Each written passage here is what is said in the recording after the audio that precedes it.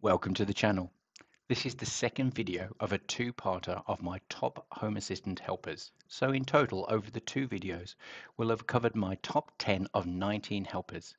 If you don't see a specific helper that you're particularly interested in, then let me know in the comments below, and I'll see if I can put together a video specifically for the helper that gets the most comments. So let's dive on in.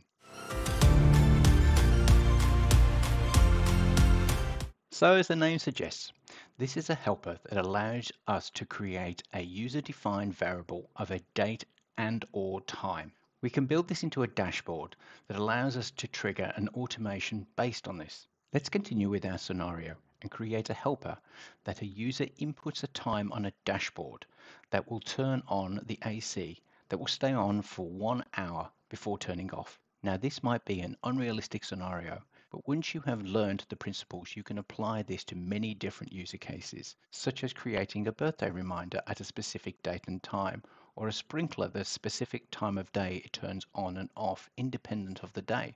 So let's create our helper. Firstly, we need to navigate to Settings, Devices and Services, Helpers, Create a Helper. Select the date and or time. Give it a name. In this case, I'll give it one of AC on time. Give it an icon. I'll give it air conditioning. Since in our user case we only want to record a time, we'll select the time and we'll press create. Now let's navigate to our tutorial dashboard. To be able to add a card we need to be able to edit the dashboard. Press the three dots in the top right hand corner. Edit dashboard. Let's add a card. Search for and select the entity card. Now let's add our input helper. Now press save and press done. Now by pressing the entity card we can update the time. Now let's go and create an automation based on this helper. Settings, Automations and Scenes, Create an Automation, Create an Automation. Let's add a trigger. Select Time. Select Value of a Date Time Helper or a timestamp class sensor. Press the X in the at time. Search for the helper that you just created and select. Now well, let's create our actions. Add action. Call service. The service that we're going to be calling is climate turn on. Select your entity, which is going to be our air conditioner. Now we can also set the temperature at this point in time as well with the following action. Call a service, climate, set temperature. Choose your entity, in our case, the air conditioning. Now because we've turned the air conditioning on, we want one hour to pass and then we want to turn the air conditioning off. So we want to add an action, wait for a time to pass, set a duration of one hour, add an action, call a service, search for Climate turn off. Select our entity, which is our air conditioning, and press save. Give it a name and press save. Now based on the entry for the time helper that is on our tutorial dashboard, at 7.30 p.m. this automation will trigger. It will turn on the air conditioning, it will set the temperature, it will wait for one hour, and then it will turn the temperature off. Our next helper is the input text helper. This helper allows the user to define values that can be controlled via the front end and can be used within conditions of automations. As a pro tip, this can also be configured in password mode, which obscures the text. So in this user case, let's create an automation that will restart Home Assistant when the user enters a password. Text will be obscured and not visible. The password will be more than 5 characters and less than 10 characters and alphanumeric. So let's create our helper. Settings, Devices and Services, Helpers, create our helper. Search down for text. Give it a name. In our case, restart password. Give it an icon. In my case, lock. As per the user case, we'll give it a minimum length of 5 characters and a maximum length of 10 characters. We'll make the display mode password. In the regex pattern, we're going to be copying the following. I'll put a link in the description as to what this means. Now press create. Now let's navigate to our tutorial dashboard. Edit the dashboard with the three dots in the top right hand corner. Add a card and we're searching for an entity card. Select, clear out the entity and insert the entity that we just created. Press save and press done.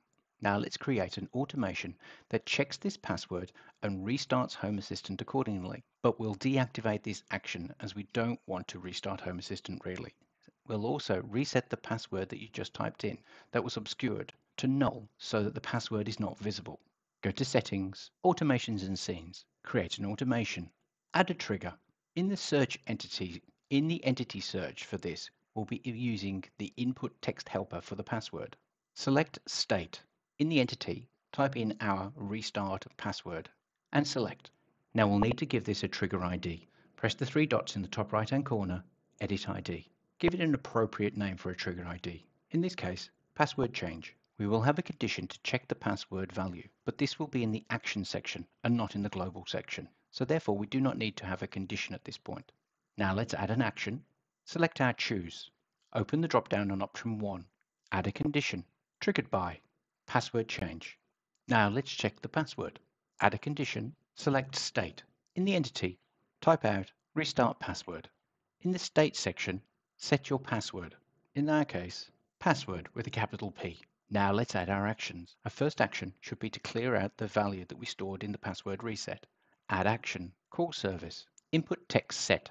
Select our entity, which will be our restart password. In the value, type in null. Now let's restart Home Assistant with another action. Call the service, Home Assistant Core Integration Restart. Remember the three dots in the top right hand corner and to disable this because we're not actually going to be restarting Home Assistant with this integration. Now if now, if the automation was triggered, but the password did not match, we need a second option.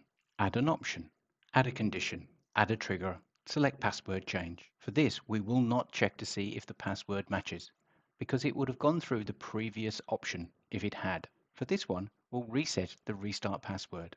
Since we've already covered this in the option above, if we press the three dots to the right of this, copy, scroll down into our option 2 actions, we can add an action and we can paste the service. And this will reset the reset password back to null for us. We can now press save and give it an appropriate name and press save.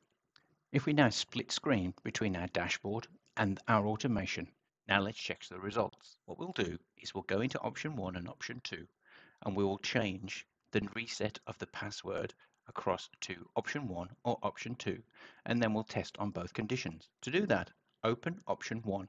Scroll down to the actions where the password is reset. We're going to change the null value to option 1. Now we'll scroll down into option 2. Expand option 2, scroll down to the actions and expand the action. Inside here, we'll change the null to option 2. Now we'll save. Moving back into our split screen onto our pa reset password, we'll type in an incorrect password. This should bring up option 2. Option 2 is displayed. Now let's change the password to the correct password, typing in password with a capital P and pressing enter. We can now see option 1. The automation is working successfully and routing into the appropriate options. Timers are much simpler in concept, but do have some special functions that means that they could be a video all on its own.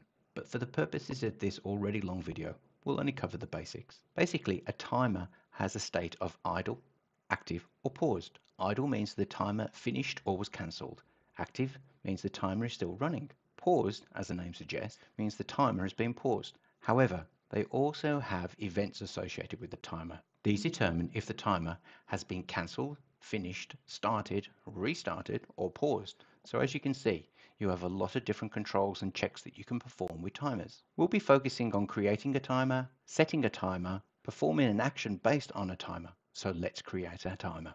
Go into Settings, Devices and Services, Helpers, Create a Helper, scroll down and search for Timer. We'll give our timer a name. We'll call it the 2 minute timer. Give it an icon of timer. Set the duration at 2 minutes and press Create. Now let's put this on an entity card on our dashboard. Scroll to your dashboard, enter the three dots in the top right hand corner, edit your dashboard, add a card. We're going to put this on a mushroom entity card. If you don't have the Mushroom cards installed, go and watch the video on the HACS installation on the link in the description above. Select your Mushroom entity card. Enter in your timer into the entity. As this is a Mushroom entity card, we have multiple different actions that can be applied. If you scroll down, you will see there is a tap action, hold action, and double tap action. Select the tap action. Select Call Service. The service we're going to be looking for is Timer Start. And select Choose your entity, which is our 2 minute timer. Scroll down. Now select the hold action. Select call service. In the service, select timer pause. Now select our entity, which is our 2 minute timer. Scroll down. Now select double tap action. Call service. The service we're going to be calling is timer finish. And select. Select our entity, which is our two minute timer. Now press save and done. Now we can start, pause and stop our timer, but the entity card will not show the time remaining on our timer. There are many ways to do this, but the easiest I've seen is using the HACS front-end card called Timer Bar Card. I won't go through the installation of this card, but if you watch the HACS installation video, it will show you how. Now let's add this card to our dashboard. Three dots in the top right hand corner, Edit Dashboard. Add a card. Search for Timer Bar Card and select. As this card cannot be edited in the UI, you'll need to enter a single line of YAML code. Enter the following, entity colon space, and then the name of your timer, and press save. And now press done. Now when you start the timer, you will see the time remaining on the time. Let's do that now. You can now see our timer is started. Pressing and holding will pause our timer and stop our countdown. Pressing again will reactivate the timer. Double tapping will reset our timer and no time will be displayed in the timer countdown bar. Our next helper will be the drop-down helper. This allows you to predefine a list of values that you can assign to an entity. It's particularly useful in limiting the options and providing a fixed value input based on predefined options. In our example, we'll create a drop-down helper that will allow our user to set a lighting mode for the home. Our states will be watching TV, and sleeping, but you can add additional states or adjust accordingly, as this simply demonstrates the drop-down helper. Let's create our helper. Settings, Devices and Services, Helpers. Create a helper, search for, and select drop-down. Give it a name, House Lighting Mode. Give it an icon, Floor Lamp. Scroll down. Our first option will be None. Press the Add button. Our second option will be Watching TV. Press the Add button. Our third and final option will be Sleeping. Press the Add button. Now press the Create button. Note that you can change the order of the options by using the nine dots to the left of the selection. Now let's add this to our dashboard. Navigate to the tutorial dashboard. Press the three dots in the top right hand corner and edit your dashboard. Select Add a card. We're going to be searching for the Mushroom Select card and select. Clear out the entity and find our house lighting mode and select. We won't be using any of the more advanced options here so you can leave those alone. Press save and done. Now let's create our automation that checks the value of the drop-down. The logic will be, if it's set to null, no action will be taken. If it's set to watching TV mode, then all the lights will turn off and the lounge lights will turn on to 50%. If it's set to sleeping mode, then all the lights will turn off and the master bedroom lights will turn on 1% for 30 minutes. As we're focusing on the functionality of the helper, I've created this already. Also, I've added the lights to the dashboard so that you can see the functionality is working. Now we're in split screen mode. On our left, we have our automation.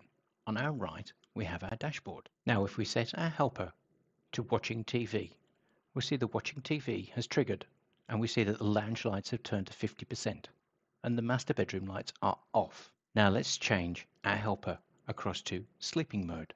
We'll see the sleeping mode is triggered we'll see the lounge lights have turned off and the master bedrooms have turned on to 1%.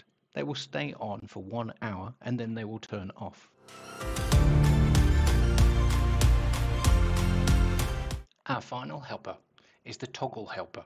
This is probably the simplest of all the helpers. This is a simple binary helper that can have a value of on or off. For this helper, we'll create a toggle helper and include it into an existing automation in my home. This automation turns on a diffuser at 5 pm each night and turns it off at 6 pm. The toggle helper we'll create will check if this automation should run or not. So let's create the helper. Settings, Devices and Services, Helpers, Create a helper. Scroll down, Toggle helper. Give it a name, Diffuser Suspended. Give it an icon, Fan Dash Clock, and press Create. Now let's add this to a dashboard. Navigate to our tutorial dashboard, press the three dots, edit your dashboard, add a card. Search for and select the button card. Empty out the entity ID. Now search for and select our toggle helper. Now press save and press done. Now let's open our automation for the diffuser. Settings, automations, and search for our automation. Select. We won't need to change anything else in this automation, but we will use our toggle helper in the condition. Add a condition, select a state. In the entity ID, put our toggle helper. Make sure you set the state for off. This means that when the condition is met, This will allow the automation to run. If the toggle helper is set to on, then the condition is not met and the diffuser will not work. This means that if the diffuser is suspended and the state is on, then the condition is not met and the diffuser will not turn on at 5 o'clock.